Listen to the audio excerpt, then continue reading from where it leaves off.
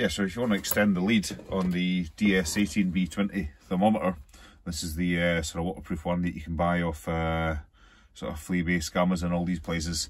Um, you can uh, do it quite successfully just with some uh, a bit of Cat 5 data cable.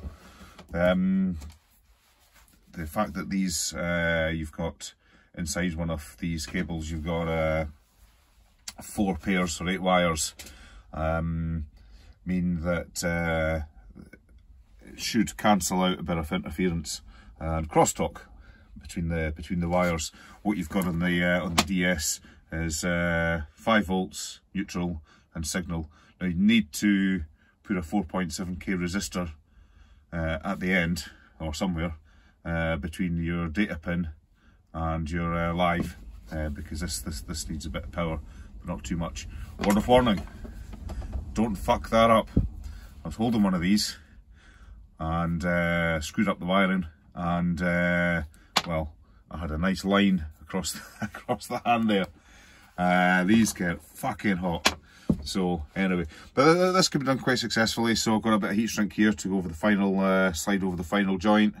Um, I'm just going to solder these up and uh, I've had this working over about 15 metres or so. Uh, dare say with um, it could be extended further.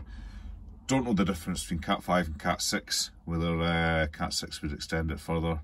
Probably, probably not. What I have done is uh, the twist rates on the four different pairs inside the data cable are different if we have a look here.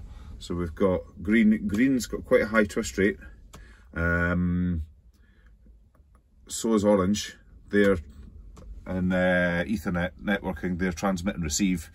And the brown and the blue pairs of uh, twisted cable aren't used uh, in standard Ethernet. They are, however, used in power over Ethernet. So what I've done with all this kind of stuff is I stick with brown for power and I use either the green or the orange for data. Um, green's got the higher twist rate so in actual fact the because uh, it's twisted tighter it's uh, you, you it's a longer actual wire distance but uh, in this application here I've got a total cable length probably of about four meters. It's not going to make a blind bit of difference. And uh, I've, I've brought some uh, some other ones in and my color scheme is green for the sensor for the for the data wire so just going to stick to that. So I'll get this soldered up and that will be uh, that'll work just fine